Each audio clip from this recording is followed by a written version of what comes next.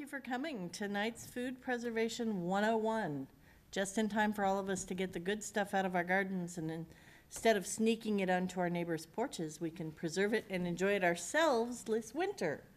Um, our guest tonight is Rachel Wall, and I'm going to let you say what your job is because you've got a really long title. But she works for the Iowa State Extension Office. So, and she's here to teach us all about Food Preservation 101. Thank you very much. As she mentioned, my name is Rachel Wall. I am a human sciences specialist uh, in the nutrition and health area, and I'm also a registered dietitian. So I work for Iowa State University, actually, um, but my office is here in Iowa City. So extension and outreach is associated with each land grant institution and university in the country, and our job is to share information with the citizens across the state. So that's why I'm based here in Iowa City and not in Ames. Um, tonight I'm going to give you some background on food preservation, kind of give you some of the basics, and then hopefully help you feel confident enough to do this at home. Or I'll be sharing at the end, we have some hands-on workshops that you can attend if you're interested in learning more information. But first, um, I'd like you, well, first I have an intern I'd like to introduce. Um, I have a dietetic intern with me these next couple weeks, Alyssa Beavers. Um, so she'll be here assisting me. And there's handouts over on the side. If you haven't had a chance to get those, feel free to walk over and pick some up. There's a variety of handouts, so whichever interests you, um, feel free to take those. Before we get into the nitty gritty details, I wanted to just go over some basic food safety concepts um, that apply anytime you're working with food. So hand washing is always going to be important. This is the number one way to prevent the spread of different foodborne illnesses or food poisoning. So before we handle any food, um, anytime we really touch any part of our hair or face or body, when we use the restroom, um, before handling meat, um, if we have pets, those are all times when we want to make sure we wash our hands. This goes over the proper procedures for washing fresh produce. Um, so just to highlight, you want to make sure that your hands are washed and that your work surfaces are cleaned and sanitized. Um, your raw vegetables you want to wash under running water and you want to think about giving it a shower and not a bath. So you want you don't want to soak it in water because that's not going to um, help remove some of the contaminants. So you want to make sure you're washing it under running water. Um, and then if you have items that have a harder skin on them, like a potato, or we were talking about turnips or jicama earlier, um, it may be helpful to have a vegetable brush to scrub away some of that dirt on there that can be trickier to remove. And then labeling and dating items is important as well. Um, once we've cut any tomatoes or lettuce or melons, we want to make sure that we refrigerate those, especially um, because they've been known to be linked with a lot of foodborne illnesses. So we want to make sure we stick those in the fridge at 41 degrees or lower. Okay, I'm just going to touch briefly on knife skills um, because often we're going to be cutting up things while we're preparing them to fit into our jars or when we're freezing them. There's a variety of knives that you can purchase. Um, most often we're going to be using a paring knife or a chef knife. Um, you can also get more specialty knives like the tom tomato knife that is shown here. It's important when you're handling a knife um, that when you have your chef knife, you wrap your fingers around it and that your thumb is on the other side. Um, and then you want to create a claw grip. So you want to um, hold your fingers back so that you're, it's not tempting to accidentally grab um, one of your ends of your fingers when you're cutting. So make sure you pull back your fingers as shown here in the picture. Um, and then use, use that hand as a guiding hand for the knife when you're cutting. Um, this just goes over some different knife cutting techniques. So depending on how large the item is will depend on where you place your knife. Um, so technique one is for large items that are going to sit higher on the cutting board. Um, you're going to start with the tip of the blade on the object as shown here. If you have smaller things like herbs, um, celery or carrots, you're going to start with the tip of the knife actually on the cutting board. Um, and then the third technique is a rocking motion, generally to mince herbs or garlic, um, and that's shown on the bottom here. the important thing, yeah, I'll mention this here, um, is that you're using the length of the knife. So we don't want to hear lots of chopping sounds. You want to hear more of a gliding sound so that you're using the length of the knife to help you rather than having your arm do all of the work while you're cutting. So just to save yourself a little work and to help um, use the tool as it's intended. This shows our workstation setup. Um, so again, they're in a commercial kitchen here. Most of us will probably be in our homes when we're preparing these. But again, just making sure that um, everything is in place. We refer to that as mise en place. Um, because in the canning process, especially, um, the steps can come up rather quickly. So it's important that you have all your materials gathered and you're not running around your kitchen um, trying to find things. So these are the three main types of food preservation we're going to be talking about tonight. We're going to spend a significant amount of the time talking about canning, um, both hot water bath canning or boiling water bath canning, as some of you mentioned, and then also the pressure canning. And then we'll also touch on freezing and dehydrating. Um, as a aside, I will say um, freezing and dehydrating are not um, as risky, or as my predecessor says, they won't put you on my worry list as much as canning. So canning is something that you especially um, need to follow all of the steps. There's lots of opportunities to be creative in cooking. Canning is not one of those. So we want to make sure that we're always following the recipe um, to make sure that we're eh, um, coming out with a safe product. So with canning, as you can see, here's some of the equipment and supplies you'll need. so with canning, we're creating a vacuum. So we're drawing air out of the jar, creating um, an anaerobic environment so that we can minimize the growth of um, the microorganisms. Also, by heating the jars and the contents in them, we're destroying those microorganisms and inactivating some of the enzymes present in the food that can cause changes in the color and flavor of the food. So, there are several purposes to the canning process. So, when we're canning, we want to choose high quality produce. So, the way that the item is when you get it, it's not going to um, become any better through canning it. So if you are canning bruised or blemished products, that's how they're going to end up in your jar as well. So you want to choose high quality items. Um, we're going to be heating the food to a temperature that destroys those microorganisms and inactivates those enzymes. So depending on which type of canning we're using, the temperature will vary, and I'll talk about that in a minute. Um, that vacuum is created by driving air out of the jar. So that popping sound that you hear is that vacuum being formed. Um, so that's often heard when you're removing the jars from the canner. Um, the seal also helps to hold the lid on the jar, so that's going to be important, and prevents anything else from getting into the food. So we don't want those items becoming recontaminated. And we also um, want to prevent air from getting in there so that the food doesn't dry out because a lot of these items, um, you're making them shelf stable. So something that normally would require being um, processed in a certain way or put in our refrigerator or freezer, we're making it so we can safely put it on a shelf for an extended amount of time. So we need to make sure that we're um, doing all these things uh, to prevent those food safety risks that can come into play. So we have two types of canning, as I mentioned. We have the hot water bath or the boiling water bath canning or the pressure canning. Now, the type of canner we use depends on the acidity or the pH of the food. Um, so that's what's going to determine which type of canning uh, we need to use. So the pH scale, I don't know if you guys can remember back to chemistry class, goes from 0 to 14. 7 is in the middle, so that's fairly neutral. Um, foods that have a pH lower than 7 are considered acidic, and those um, or things higher than um, 7 are considered more basic. However, when we're talking about canning, we consider foods to be acidic if their pH is below 4.6. So this is going to be most fruits except for figs and Asian pears, um, tomatoes that have been properly acidified. So the recipe will tell you you need to either add lemon juice or citric acid or um, some kind of acid to them um, to properly acidify them. And the reason we need to acidify our tomatoes is because amongst the varieties, there's not a consistent amount of acid in the tomatoes. So the recipes recommend that we add the acid to them um, as a precautionary measure.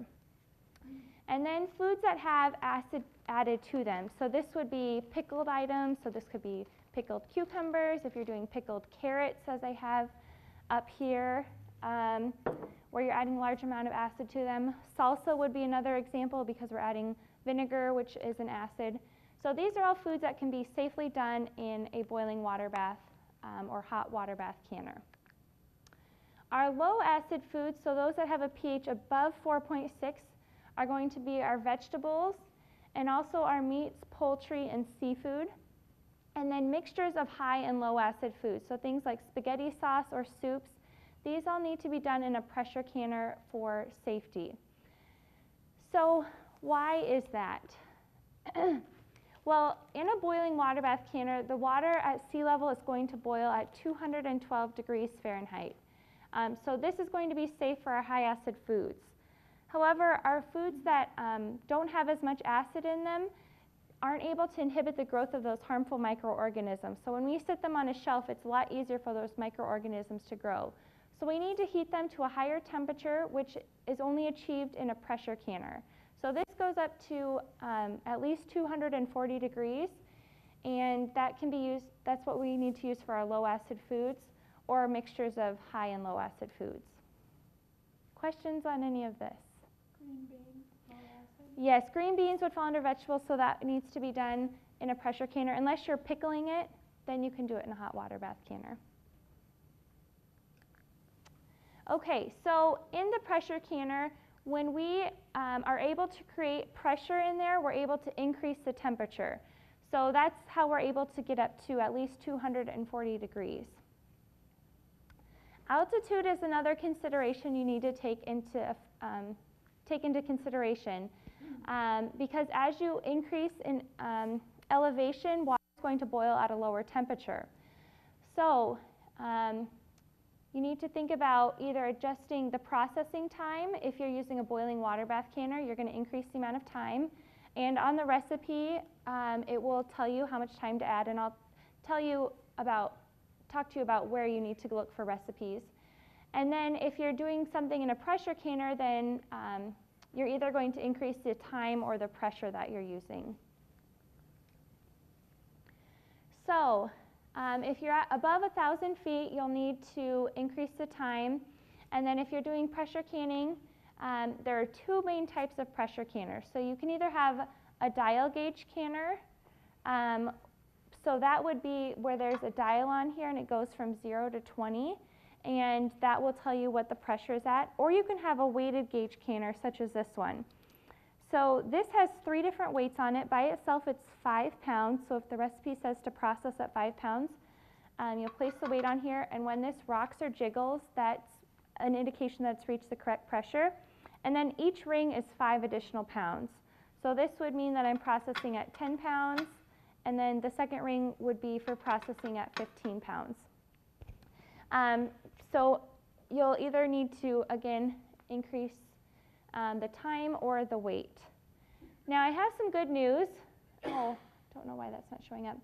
Um, we're in Johnson County here, so shaded areas on this map are less than 1,000 feet, so we don't need to worry about adjusting um, processing times for altitude. However, if you are in any other part of the state that's a non-shaded county, you will need to um, take into consideration because these are going to be above 1,000 feet. So you will need to adjust for the altitude. So who's heard of botulism? Does that sound familiar? It's kind of a scary term, isn't it? Um, that's, that's one of the things that we need to be concerned about when we are canning. And the reason why, hmm, oh, there you go.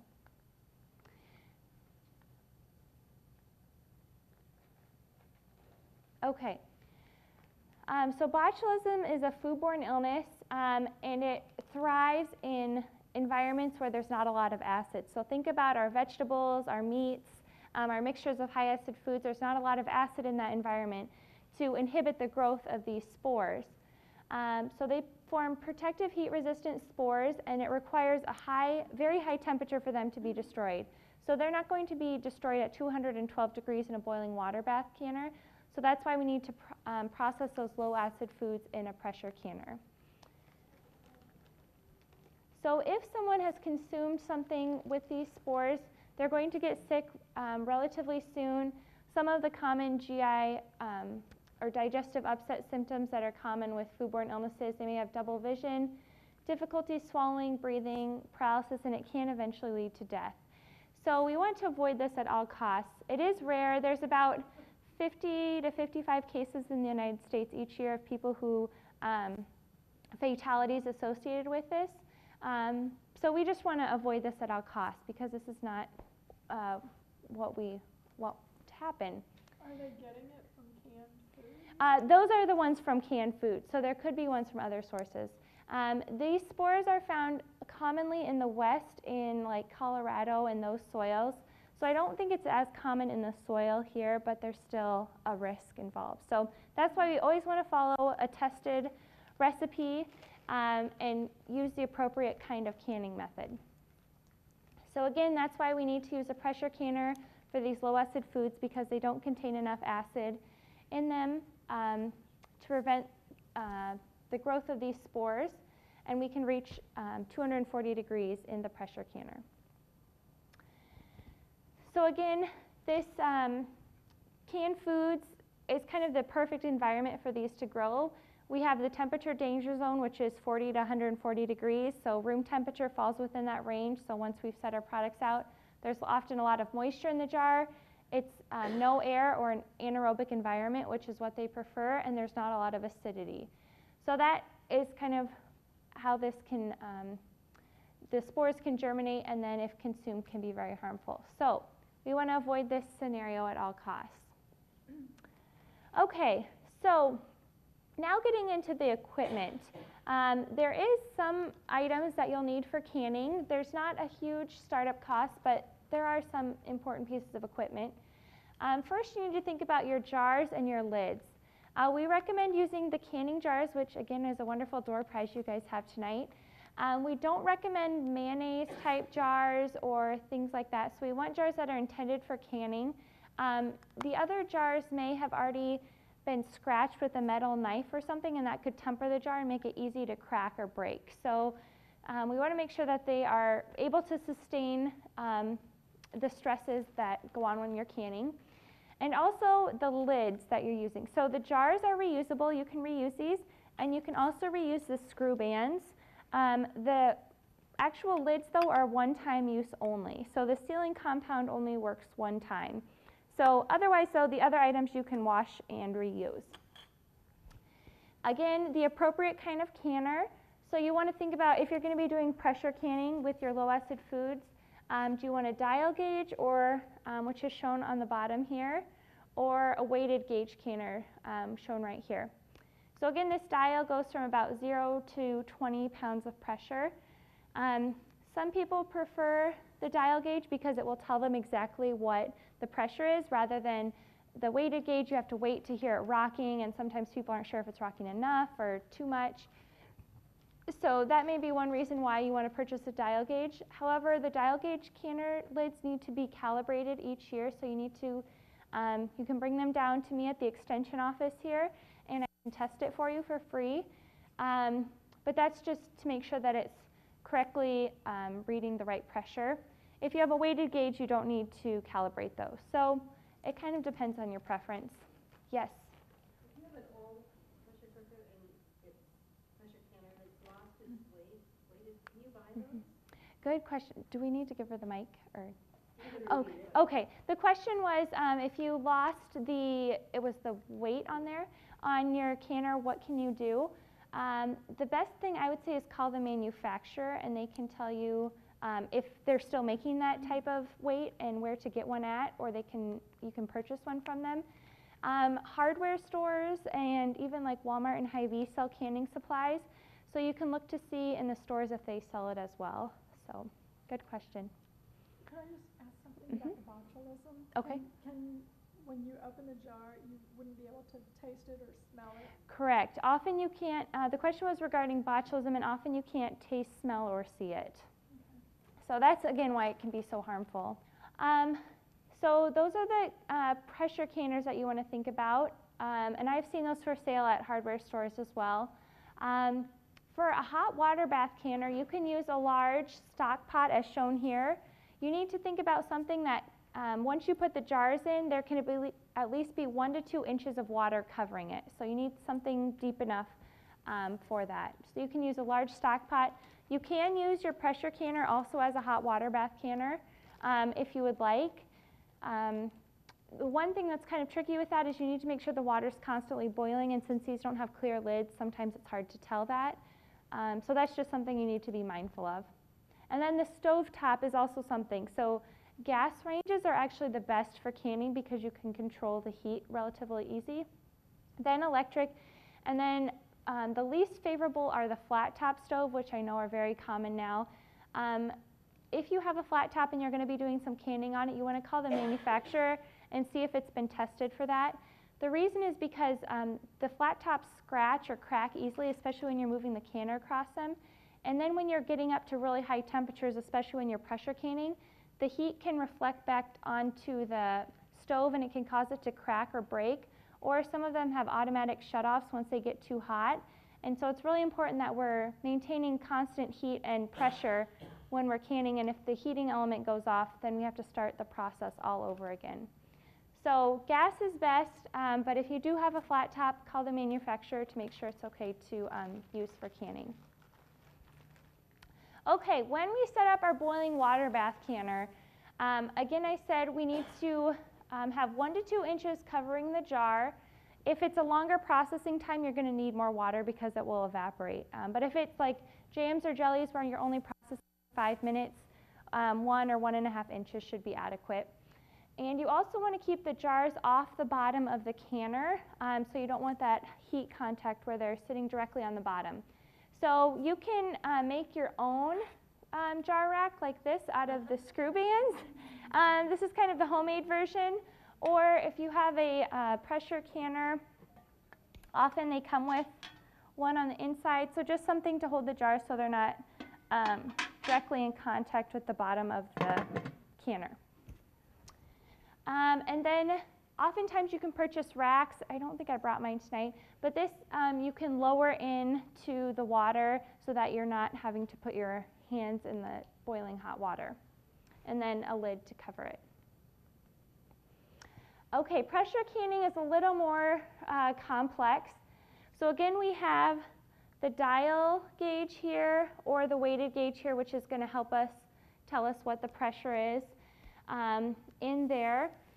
We also have um, the handles here, so those are important that you screw those on tightly so that you formed a good seal. We don't want any air to escape because that's going to prevent us from um, generating any pressure inside of the canner. Uh, we still have our jar rack, so we're keeping those things off the bottom of our canner. um, you'll also notice that there is a safety fuse over here. So if you see that come off or go off, that means that um, you're reaching dangerous levels of pressure, so you want to turn the heat off and move your canner off the, um, off the burner. The vent or cover lock over here just means that you've generated pressure. So oftentimes um, this will come up and that tells us that we've established pressure inside the canner. Now after we um, are done canning, or let's say the processing time is 20 minutes, we've canned it for 20 minutes, um, before we can take uh, the jars out, we need to let it depressurize naturally. So we don't want to, we want to let it do its thing on its own. So we want to leave the weight on, um, and we need to wait for this to come completely down, and that can take 30 minutes to an hour. So you need to allow plenty of time. Um, and then you need to wait 10 more minutes, and then you can take the jars out. So there's lots of time involved with canning, so you need to make sure you have adequate time to do all the steps. Okay, so there's a difference between a pressure canner and a pressure cooker. Pressure canners are for canning, um, pressure cookers are not. Uh, they don't have a large enough volume oftentimes to reach the adequate um, heat and pressure that we need to penetrate the inside of the jar to heat the food properly enough. Um, the pressure canners we're using need to be at least large enough to hold at least four quart-sized jars. So um, if you do have a pressure cooker at home, you can use it for other um, methods of you know, preparing meats or whatever you use it for, but for canning, we need to make sure we use a pressure canner. Okay, here's the cooktops we talked about. Um, so again, with the flat bottom, you need to be conscious of the scratching. If there's any overheat protection, um, think about that. Um, and also matching the burner size to the pot. So we want to make sure we're using um, a burner that's usually the largest burner since our canners are fairly large. Um, we don't want the canner to be one to two inches uh, wider in diameter than the canner that we're using. The processing times um, that you'll see on the approved and tested recipes are determined by research. So the National Center for Home Food Preservation is a great resource. Um, they're based out of the University of Georgia, and they are the ones who test all of these recipes and determine what the adequate processing time is for, um, for these different foods. So they'll determine how much time and temperature is needed to penetrate the jar to heat the food in the middle where it's often the coldest. Um, so there's a variety of factors that influence the processing times, the thickness of the food, um, the size of the jar you're using, um, the altitude, again, we said that can determine how quickly the water boils, the consistency of the liquid in um, your canned product. So all of these factors go, come into play. These are considered unacceptable methods of canning. So again, we talked about the two safe methods are using a boiling water bath canner or a pressure canner. There's lots of other ideas and shortcuts out there for canning, but they're not safe and we don't recommend them. Um, so even if you see it on Pinterest or on the internet and your friend is raving about it, please don't do it.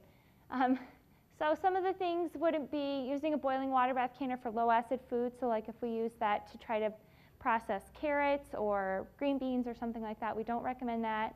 Sealing jams and jellies with paraffin.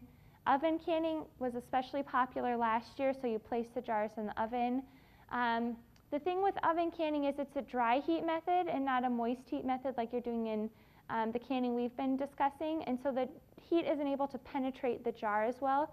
So just think you can stick your arm in a 350 degree oven and be okay, but you can't put your arm into boiling water. it's gonna, it's gonna burn yourself. So um, we don't recommend that. No microwave canning or dishwasher canning. So take home message is to always use a USDA approved and tested recipe. So where can you find those? In all of the handouts I have over there include USDA tested and approved recipes. The National Center for Home Food Preservation, they have a great website that you can use, and they also have a publication you can purchase called So Easy to Preserve. Um, so these are all tested and approved recipes. And um, again, on their website, you can find most of these recipes as well. So if you are internet savvy, you can go on there and um, purchase those.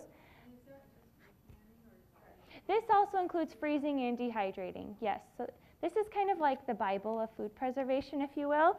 Um, so this is a great resource. And then Ball Blue Book is also another good resource as well. Yes. Uh-huh. Oh, good question. Um, so open kettle canning is when you um, cook the food and then just pour it into hot jars and then just put the lid on and you don't process it in a pressure canner or a boiling water bath canner. So you kind of skip that step.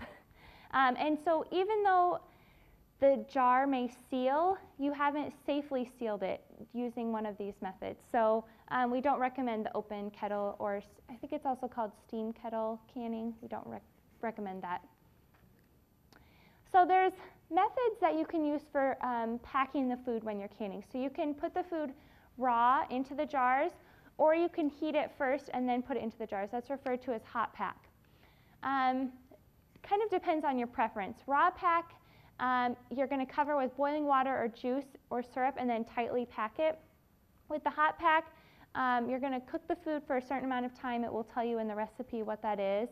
And then pack the food in there and then cover with um, a liquid, and you're going to pack that more loosely since it's already been cooked.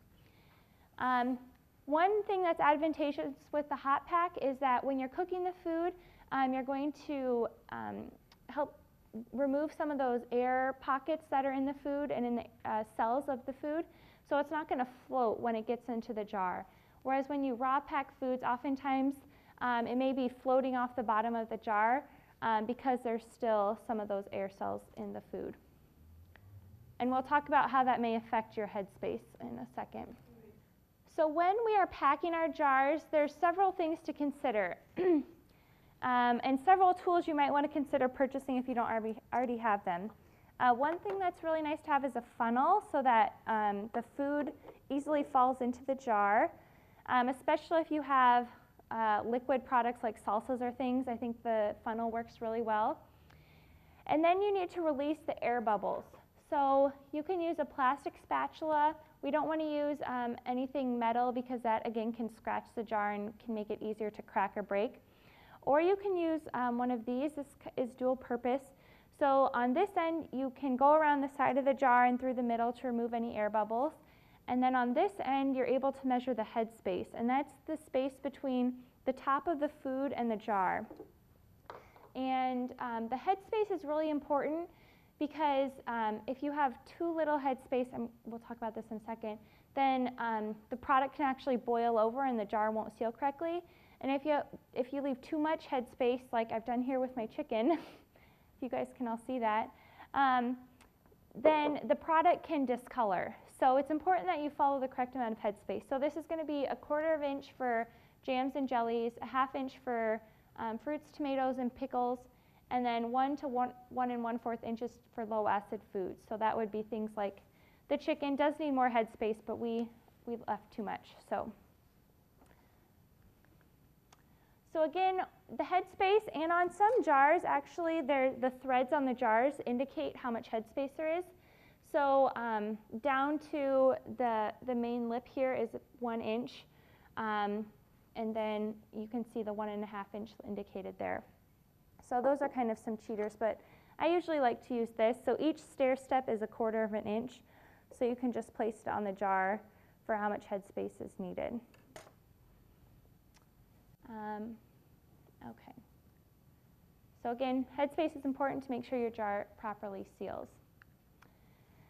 So this shows some of the steps. So after we have um, heated our food, if we're doing a hot pack or if it's raw pack, we've packed it into the jars. Um, our jars, when we use them, we need to make sure that they're cleaned and sterilized. So if you are not processing anything in a hot water bath or um, yeah, hot water bath for more than 10 minutes, it needs to be sterilized. So you'll need to heat it um, in hot water. I believe it's 180 degrees. um, if you're processing for more than 10 minutes, though, then they consider that enough time to sterilize the jars. Uh, after you place the food in and measure the headspace, make sure that that's correct. You want to wipe the rim of the jars with a wet paper towel or a wet rag to remove any food debris. Excuse me.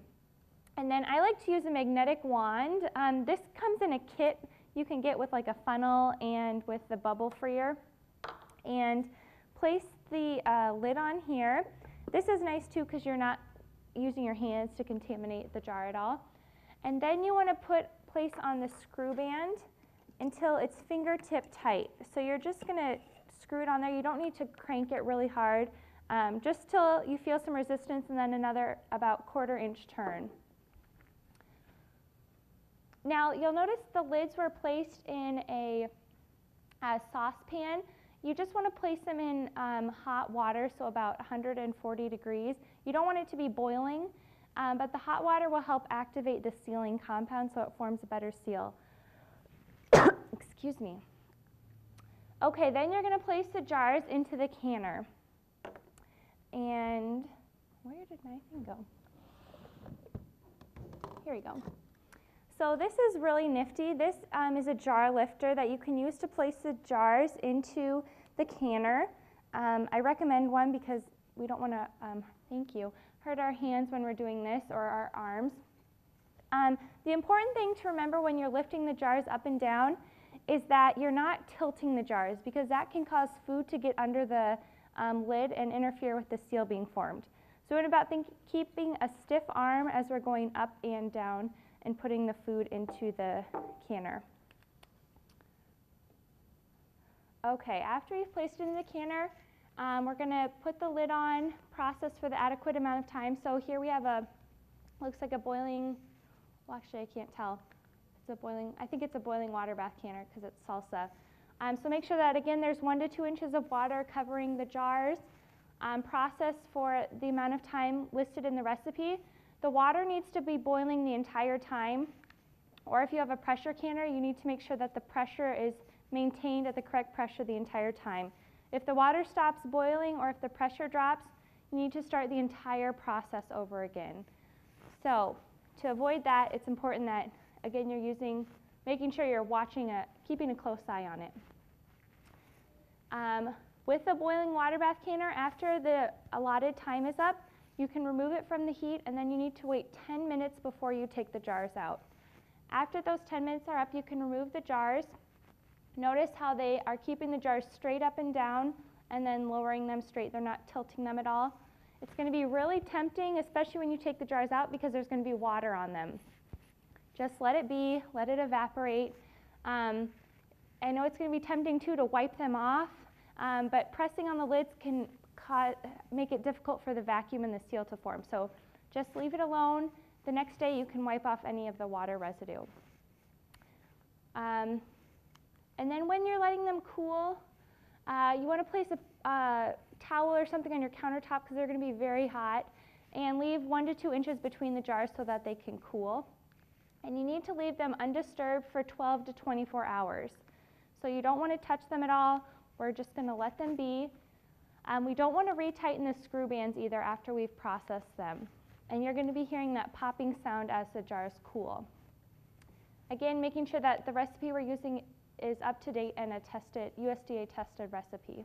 So after the 12 to 24 hours, um, you're going to listen for that sound. If you um, hear a dull sound, the jar may not be sealed and you it could be stuck on there, but within a day it should form that seal. If not, then put it in the fridge and you have seven days to eat it. So you should hear um, the popping sound. Also, you can tap it with a spoon, and then when you look at it at eye level, it should be concave. And also, um, before you store them, we're actually going to remove the screw bands. So when you take the screw band off and put your fingers under here, this shouldn't be able to pop off easily. So there, you shouldn't be able to pull, pop that off. If it does pop off or slide off, that means it didn't form a seal. So you're going to want to put it in the fridge and use it within seven days. So when we're storing our canned uh, goods, again, the screw band we want to remove. The reason is because they can rust on, and so that can make it really difficult to take off. I have kept mine on just because it's easier for transport, um, but if I was using these for home use, I would have taken the screw bands off. Um, this is when you can wash off the jars, get off any of the water, the water stains, uh, labeling and dating the products, and then store in a cool, dry, and dark place, um, like a basement or a cellar. Between 50 and 70 degrees is ideal. And we recommend using um, home canned food products within one year for best quality. Okay, so this is a little um, activity for you guys. So you're going to see a picture of some food items, and you're going to tell me if this needs to be done in a pressure canner or a boiling water bath canner. Oh gosh, that answer's not supposed to show up. Why did it do that? Oh man. Okay, well maybe. Okay, well I apologize. I don't know why that's showing up. Um, but yes, so this would be a boiling water bath canner. We've got our fruit, and then these cucumbers we're going to be pickling, so that would be in a boiling water bath canner. We have uh, green beans and carrots, so there's going to be a low acid food.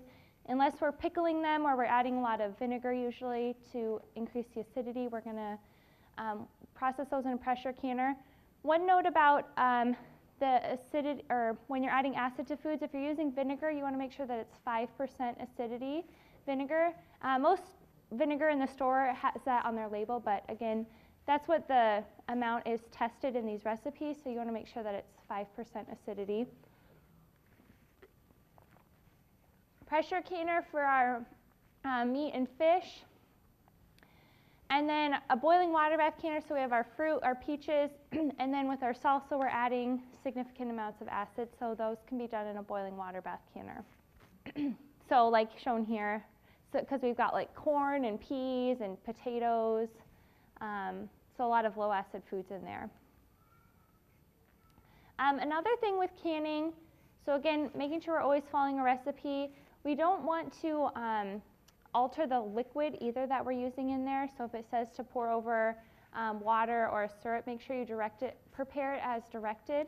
Um, I've heard of some people wanting to make like pie filling or something where they're adding starch or thickeners to it.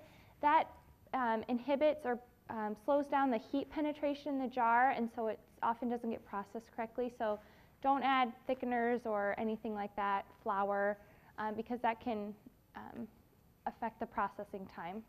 Okay, next we're going to talk about freezing. so canning has lots of detailed steps. Um, freezing, you still need to follow a couple things, um, but you're not going to be on my worry list as much as when canning um, because you're keeping the food at temperatures that um, oftentimes prevent pathogen growth. So we're not going to um, find as many of those harmful items in our food. So again, when we're freezing, we're preventing the growth of those harmful microorganisms and also slowing the enzyme activity. So those enzymes in the food are what cause changes in the flavor and the texture and the color of the food product. Um, so oftentimes when we are harvesting the foods, that's what we want to keep it at. So if we don't um, take some steps for certain items, then we can see changes in our product. How many of you have heard of Birds Eye frozen vegetables? So that's where the quick freeze process came. So that means um, freezing foods quickly. Um, so that means putting them in at temperatures often um, fairly cold, like negative 10 degrees Fahrenheit, um, to um, form a quick uh, frozen product with even consistency. So there are several factors that affect the quality of frozen foods. So the enzymes, again, in the food that cause those changes. Um, air, um, the air in freezers is very dry, so that can affect the, if you have a lot of air that gets in contact with the food, that's what causes freezer burn. Um, ice crystals can form, so that's when um, these frozen foods, the cells expand, and then if we get lots of ice crystal formation, that can cause the cells to burst and make the foods mushy, and the quality isn't as good. And then evaporation of moisture. So, when we're freezing foods, we're not stopping the enzyme activity. Um, with our fruits, meats, and grain products, these are generally going to be unaffected. So, we don't really need to um, do anything special to them before you freeze them with regards to stopping enzyme activity. However, with vegetables, um, if they are not blanched, they're often going to lose their quality. So we want to make sure that we blanch those. And what that means, I don't think, I don't know if we have a slide on this. Um, placing them into boiling water for a set amount of time, usually two to three minutes. There's a handout over here that discusses that for different vegetables. And then you're going to submerge it into ice water for the same amount of time. So that's what's going to um, help delay some of that enzyme activity. Um, also air, so we want to um, prevent some of those enzymatic reactions. We've all cut a banana and left it out and then it's turned brown or apples or things like that. Um, so we want to prevent that air contact. Um, also the air can deteriorate the flavor in fats and oils and promote freezer burn. So we want to minimize the time that um, the product is in contact with air. So that's why it's important that we're using um, Containers that are intended for freezing, also wrapping things like meats and fish in freezer paper, and using the freezer bags can help prevent that um, contact with air. So the ice crystals, again, cause that soft, mushy, undesired texture none of us want. Um, so if we freeze items fast and at a constant temperature, that can help prevent some of that. So this means we're not constantly opening and shutting our freezer door and also that we haven't overfilled our freezer. So the cold air circulating is what helps keep freeze the products and keep them frozen. If we have it packed full, that air can't circulate and the products can't freeze as quickly.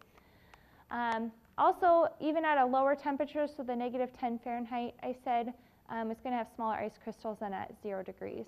What temperature is a freezer supposed to Um, it should be at least at zero degrees Fahrenheit. hmm Fridges um, should be between 32 and 41.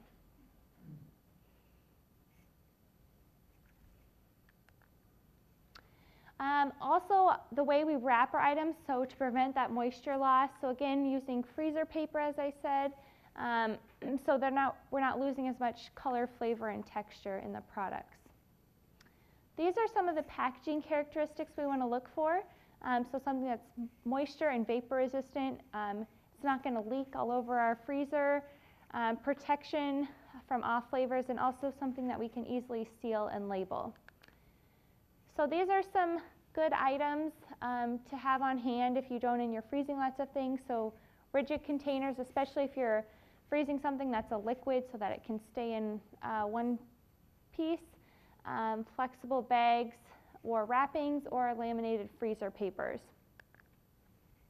These are not as desirable because they're going to cause some of that moisture and vapor loss. So wax paper, um, paper or cardboard cartons, um, something with a poorly fitting lid, or if you're reusing like plastic dairy containers or things like that.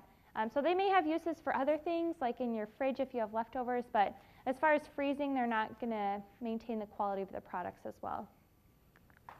Oftentimes, you can also use canning jars um, and freeze things in those as well. Most of them are freezer safe. You'll just want to look on the label when you purchase them. so, these are some uh, examples of things you may want to include on the label. So, the name of the item when it was um, packaged, um, the pack type. So, here they have light syrup when it was packed. So, just some general tips freeze items quickly allow adequate space so that the cold air can circulate, and maintain at least a zero degrees Fahrenheit temperature. Yes. So if you have berries, raspberries or blueberries, is it best to put them like on a flat tray and freeze them individually and Good. then put them in the container? Good question. Yeah, so um, she was referring to the individual quick freeze process where you freeze items first individually and then place them into a larger bag. Um, that is desirable, like for berries or things where you want them separate, because when you take them out of the bag, they're not going to clump together as much. Um, so yes, that is something we recommend. And on the freezing handout, it talks about that as well. So that's a good question. And tomatoes, mm-hmm, yep. So just need to have like cookie sheets or something to place it on, and then. mhm. Good question. Um, I think my next slide, I think one of the next couple slides addresses that. Um, so when we're freezing food, um, the fruit, again, you want to select ripe items that are good quality. Rinse them first. Again, we want to give it a shower, not a bath, and then freeze quickly. With our vegetables, we want, um, again, young, tender, high quality vegetables. Um, I'm not a gardener, but from what I've heard, it's best to pick them right in the morning when the dew is off of them. Um, and then you want to process the foods as quickly to when it was harvested as possible. So maybe think about if you have a weekend or something where you have time to harvest it right after you, or process it right after you harvest it. And then um, blanch before freezing our vegetables. So again, there's several purposes to the blanching process. Stopping the enzyme activity can also get rid of um, the dirt and microbes on there and also makes them easier to package because you're going to soften the vegetables. We want to make sure we do it for the correct amount of time. Um, you're not going to get as good of quality if you under blanch, and then over blanching, you're going to get nutrient, flavor, and color loss. So that's when you just kind of cook, cook it forever. um, with meats, when you're freezing those, um, they should be wrapped or re-wrapped um, for quality. So when you get back from the store, um, if you're going to be keeping it for a long time in your freezer, you want to put another layer of the freezer paper around it. Our fatty meats and fish, cured meats and shellfish have about a three month shelf life in our freezer. Um, other meats have a longer um, quality, so about one year can be kept in the freezer. Uh, with other products, so pasteurized, homogenized milk can be um, a month, cream three to four months, and butter, lard, and margarine um, up to six months. Four, yep. So is it, is, are those time periods because the food will spoil or the quality of it? This is mainly for quality. Um, so, I mean, you can keep things for a, a very long time in your freezer and be safe, but the quality of it is going to be compromised. So, that's primarily what these recommendations are based on. These are items that do not work well when you freeze them, and that's because they have a high water content in them.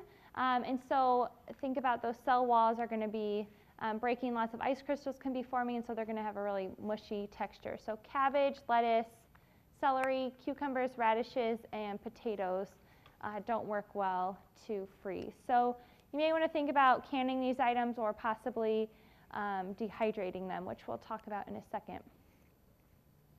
Um, you can also freeze herbs and um, spices. Just think about there may be some flavor changes that will be occurring.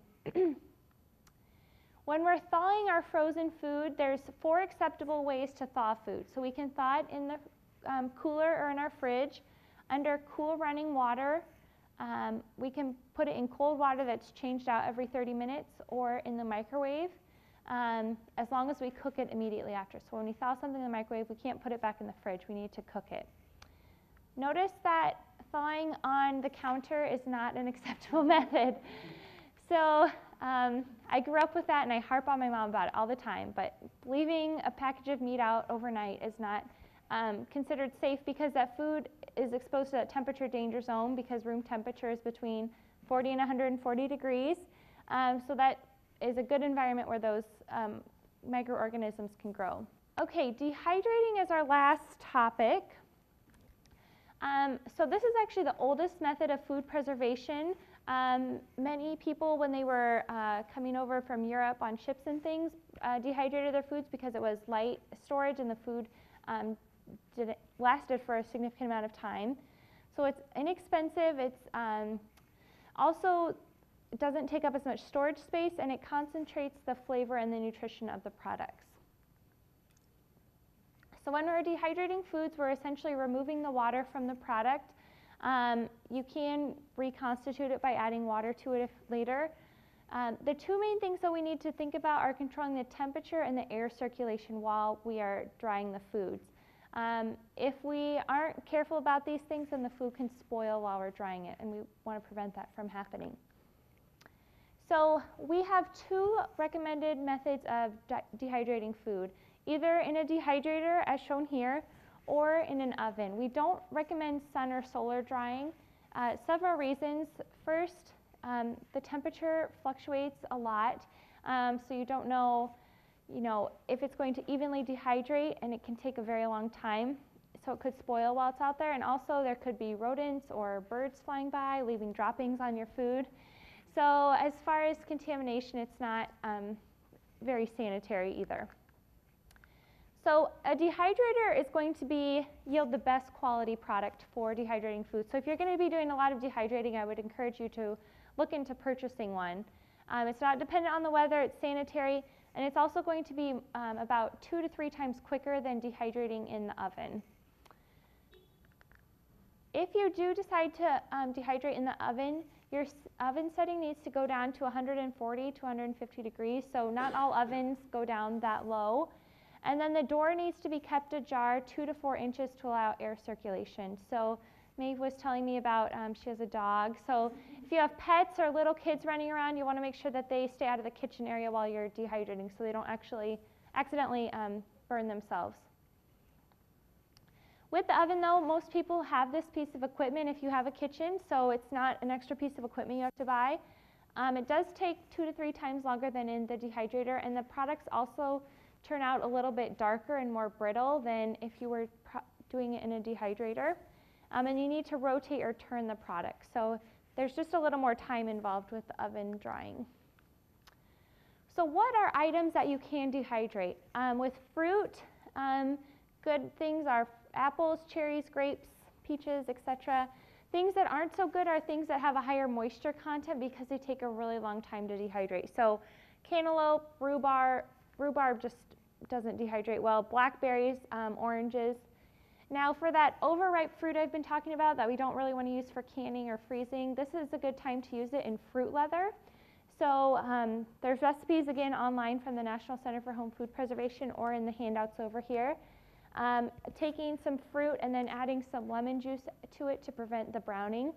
And then you can place it on a tray. These often come with a dehydrator. And just spray it with some cooking spray so it doesn't stick. And then you'll pour it onto the tray. And then it will come out just like a, a fruit leather you can buy at the store.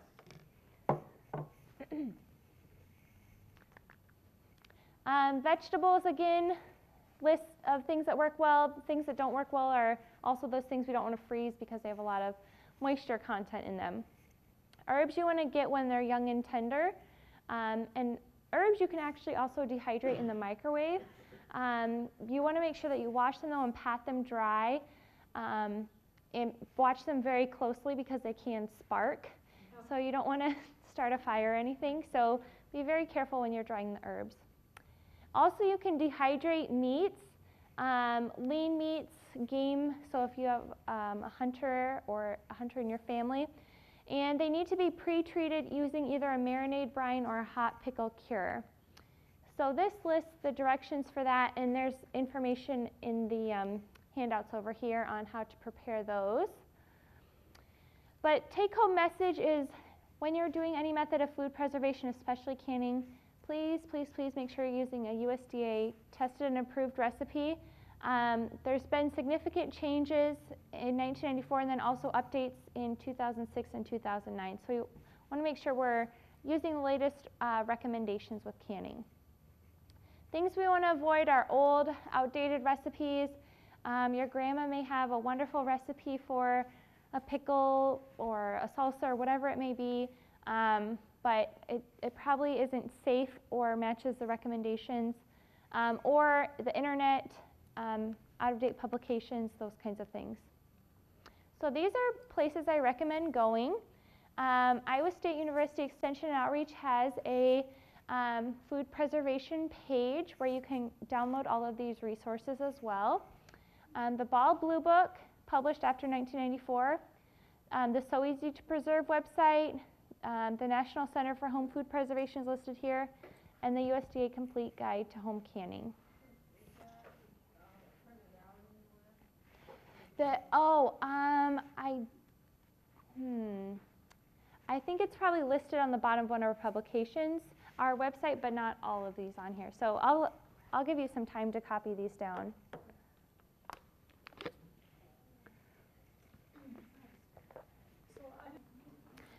One last thing I wanted to highlight, so this is kind of the introductory course to canning. We do have more in-depth lessons. Um, it's a great program we have called Preserve the Taste of Summer. So you can register online and there's also a brochure with more information on it over here, the first handout. Um, so you register online and then you're, um, you complete online lessons in the areas you're interested in. And then you're eligible to attend a hands-on workshop if you register for the silver level or above. And we've actually partnered with Hy-Vee, and so we're bringing two of these workshops here to Iowa City this fall. We have a pickling workshop on Saturday, September 20th from 11 to 3. Um, these are both at the Waterfront Hy-Vee in the club room. And then we have a jams and dehydrating workshop on Friday, October 3rd from 5 to 9 p.m. Um, so before you can attend the workshop, you'll need to register online and complete those lessons. And then once you've done that, um, you will need to notify me a week in advance to register for the workshop. Questions on that?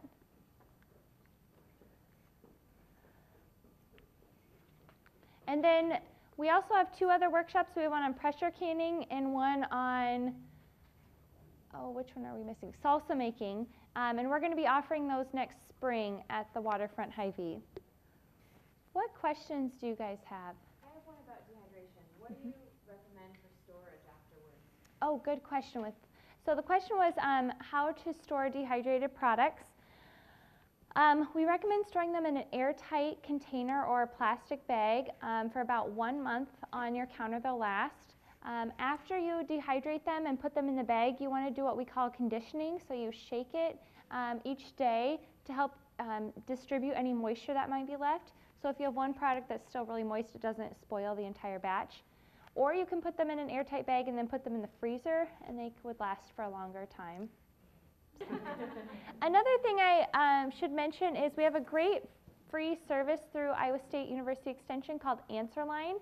It's a toll free number you can call, um, and they are like having your grandma on speed dial. So if you have questions about food safety or canning or um, like stain removal, child development, any home or family question, it's a free uh, number you can call. It's 1 800 262 3804.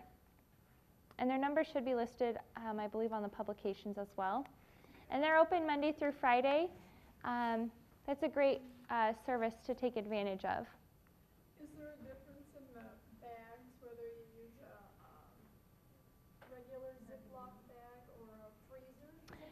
good question. Um, the freezer bags have kind of another layer of protection from that moisture loss and from the air getting in.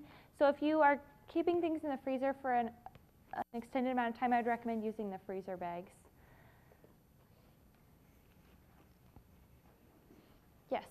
I was just wondering if you had any ideas on uh, the nutrition that would be in this uh, food with the different ways of preserving it. Mm-hmm. Uh, In my family, the young people just want to eat stuff raw. Mm-hmm. They think that's a lot better.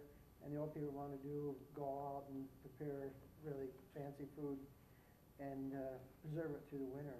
You know, you you can't eat it raw in the winter hardly. Yeah. So uh, they kind of have an ongoing argument about the difference in the nutrition. Sure. Good. So his question was regarding um, nutrition content of different foods, canned versus um, eating it fresh.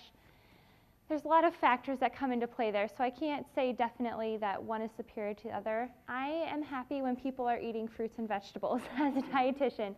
Um, that being said, though, I mean, if you are canning things, you don't have to add salt to them when you're canning, but if you're adding canning, adding salt, then that's going to um, you know, increase the sodium and that's going to make it not quite as healthy. Also, when you cooked it and then you're serving it, if you add lots of cheese or sauces or butter, um, that's going to add fat to that, so that wouldn't naturally be there. Um, but as far as just like the vegetable itself, you know, when you pick it fresh um, and freeze it right away, then you're maintaining that quality and nutrition of the item. Um, so I would say there's not significant differences between the two, but again, how you're preparing it can make a difference. Mm-hmm. More because they're cracked and the tops aren't, don't Yeah, seal. Yeah. So her question was about old jars. Um, if it's not in good condition, I I would recommend keeping it as maybe a family heirloom or using it for decorating, but not for canning. Um, because we want the jars, we don't want lots of cracks because again, when you're, if it's cracked, it's going to be easier to break when you're putting it under the stress of the heat and everything. Um, and also, we want the lid to um, form a good seal. So if there's any chips or anything along the top of the jar, then that's going to prevent um, a good seal from being formed. So the, the um, recipes will tell you for different size jars um, how much processing time is needed. So usually they're either quart or pint sized jars that they recommend using. Mhm. Other questions? No? Well, thank you all so much for your undivided attention.